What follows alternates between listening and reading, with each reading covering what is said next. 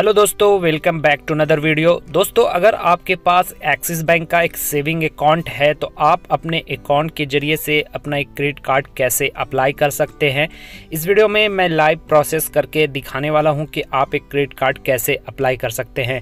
यहाँ पर मैंने अपना क्रेडिट कार्ड अप्लाई किया। देखिए प्री अप्रूव्ड हम चेक करते हैं तो वहाँ पे कुछ भी नहीं बताता है, मगर जब अप्लाई किया तो मुझे चार प्री अप्रूव्ड क्रेडिट कार्ड यहाँ पे शो हो रहा है, जैसा कि आप यहाँ पे देख पा रहे हैं। जब आप प्री अप्रूव्ड पे चेक करेंगे तो हो सकता है आपका नहीं बताएगा, मगर यहाँ पे जो मैं तरीका बताने वाला हूँ कि अगर आप करेंगे तो हो सकता है आपको भी ये ऑप्शन देखने के लिए मिल जाए। जैसा कि आप यहाँ पे देख पा रहे हैं, मुझे चार क्रेडिट कार्ड जो है प्री अप्रूव्ड के तौर पर मिला हुआ है। हम इनमें से चाहेंगे तो कोई भी अप्लाई कर सकते हैं।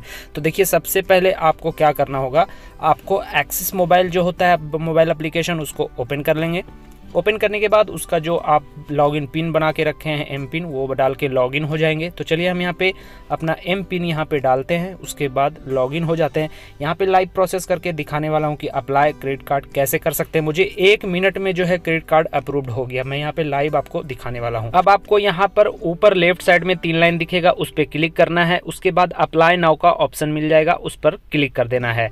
जब क्लिक करेंगे तो कुछ ऑप्शन आपके सामने खुल के आ जाएगा, जैसा कि आप यहाँ पे देख पा रहे हैं। देखिए, यहाँ पर प्री अप्रूव्ड ऑफ़र भी है, मगर आप इसको क्लिक करेंगे तो हो सकता है आपको कुछ यहाँ पे देखने के लिए नहीं मिले। मगर यहाँ पे देखिए क्या तरीका आपको अपनाना है। देखिए, सबसे फ़र्स्ट में ही आपको क्रेडिट कार्ड्स का ऑप्शन मिल जाएगा, ठीक है? तो आपको उस पर सिंपली क्लिक कर देना है। क्लिक करेंगे। यहाँ पे कुछ इस तरह का इंटरफेस मिलेगा लोडिंग लेगा, जितना देर आपको इंतज़ार करने बोला जाए, आपको इंतज़ार करना हमारा लोडिंग ले रहा है। उसके बाद एप्लीकेशन प्रिपेयर होगा, आपको यहाँ पर भी इंतज़ार करना है।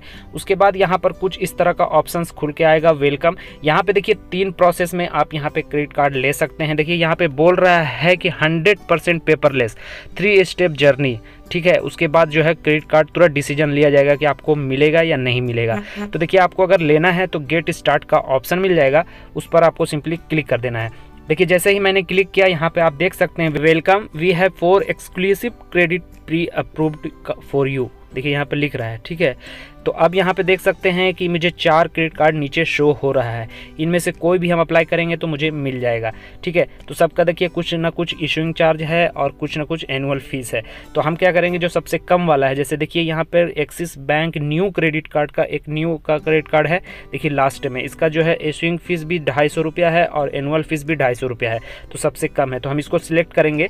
उसके बाद गेट नाव का ऑप्शन मिल जाएगा, ठीक है? यहाँ पे देखिए एक चीज़ और बोल रहा है कि ढाई सौ रुपया का अमेजन गिफ्ट भी मिलेगा थ्री महीना का जोमेटो प्रो हमको फ्री मिलेगा। तो गेट स्टार्ट वाला ऑप्शन पर है क्लिक कर देंगे।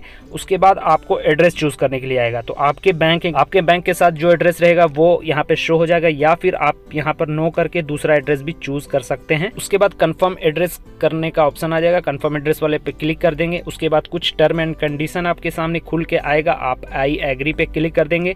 आई एग्री पे क्लिक करने के बाद आपका एप्लीकेशन यहाँ पर प्रोसेस स्टार्ट होगा। प्रोसेस स्टार्ट होने के बाद यहाँ पर देख सकते हैं एप्लीकेशन इन प्रोसेस यहाँ पे सबमिट हो चुका है सक्सेसफुल ठीक है? अब यहाँ पे बोल रहा है दो से तीन दिन में आपको बताया जाएगा। तो गाइज़ मुझे दो से तीन दिन नहीं लगा। फिर मैंने क्या किया? अपने एक्सिस मोबाइल में से लॉग आउट हो गया। उसके बाद फिर से लॉग इन करके गया मैं यहाँ पर। अपने फिर से मैं अपने कार्ड वाले सेक्शन पे चला गया एक्सिस मोबाइल लॉग इन करके।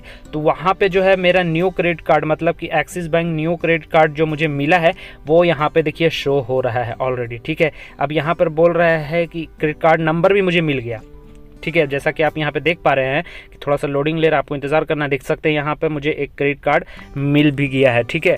उसके बाद यहाँ पर बोल रहा है अनबॉक्स अनबॉक्स पे क्लिक करेंगे तो देखिए यहाँ पे आरबीआई का गाइडलाइन है कि जब तक आपको फ़िज़िकल कार्ड नहीं मिल जाता है आप जो है अपने डिजिटल का आप अपने कार्ड को एक्टिवेट नहीं कर सकते हैं उस देख सकते हैं यहाँ पे कार्ड नंबर भी मुझे मिल चुका उसके बाद सुबह सुबह मुझे मैसेज भी अप्रूव्ड का मिल गया।